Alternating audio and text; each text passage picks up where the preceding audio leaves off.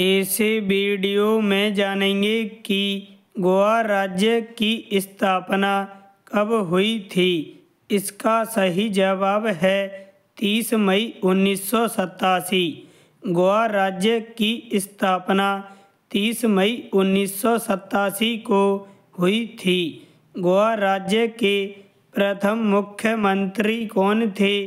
सही जवाब जानने के लिए वीडियो के डिस्क्रिप्शन में दी हुई लिंक पर क्लिक करें।